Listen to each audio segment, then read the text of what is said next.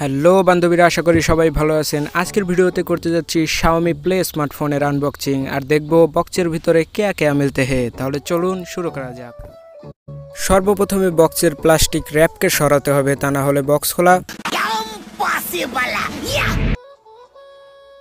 র্যাপটি খোলার পর সামনেই দেখা যাচ্ছে শাওমি প্লে এর ব্র্যান্ডিং এবং লেখা রয়েছে প্লে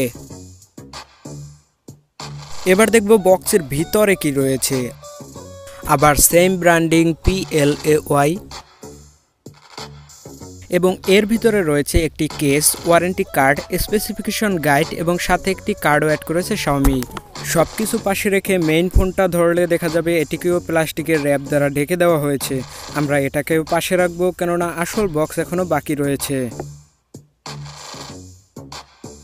এখানে সবার প্রথমে দেখা যাচ্ছে একটি স্ট্যান্ডার্ড চার্জার এটা রেটিং নিয়ে কথা বললে এটাতে রয়েছে টু ভোল্ট ফাইভ এম্পিয়ার এটি একটি নর্মাল চার্জার এবং এর পাশেই রয়েছে একটি টাইপ সি কেবল এবার স্মার্টফোন নিয়ে কথা বলতে গেলে প্রথমেই আবার প্লাস্টিকের র্যাপকে সরাতে হবে।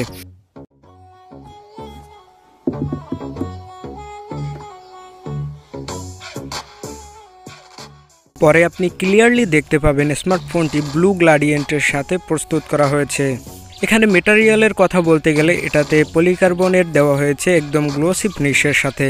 পিছন থেকে দেখতে গেলে একটি ফিঙ্গারপ্রিন্ট দেখা যাচ্ছে, তার মানে এটিতে স্ক্রিন ফিঙ্গারপ্রিন্ট দেওয়া হয়নি। সাথে আছে থার্টিন প্লাস ফাইভ মেগাপিক্সেলের ডুয়েল ক্যামেরা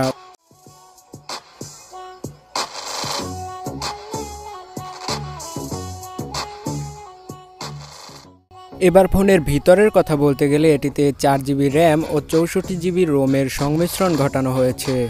সাথে আপনি একশো আঠাশ জিবি পর্যন্ত এসডি কার্ড ব্যবহার করতে পারবেন।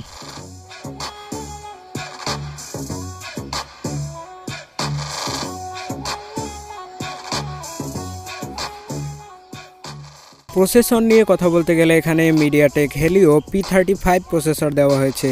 কিন্তু সবচেয়ে মজার বিষয় হলো, এই স্মার্টফোনের জিপিইউ অনেকটাই হেভি এবং আপনারা এটিতে পাবজি সহ আরও অনেক হার্ড গেম কোনো ল্যাগ এবং হিটিং ছাড়াই অনায়াসে খেলতে পারবেন।